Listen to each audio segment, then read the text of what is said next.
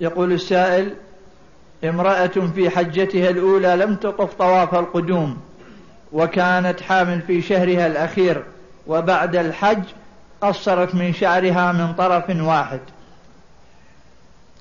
طواف القدوم ليس بواجب سنة.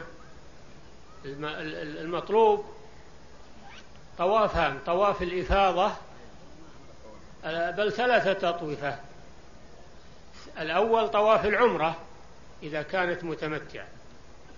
والثاني طواف الإفاضة بعد النزول من مزدلفة يوم العيد أو ما بعده. والثالث طواف الوداع عند السفر من مكة إلى إلى البلد الذي جاء منه. وأما طواف القدوم فإنه سنة. إن حصل فهو خير وإن لم يحصل فليس بواجب. وأما التقصير فلو أنها قصرت من جميع رؤوس الشعر من جميع الضفائر كان هذا هو الواجب.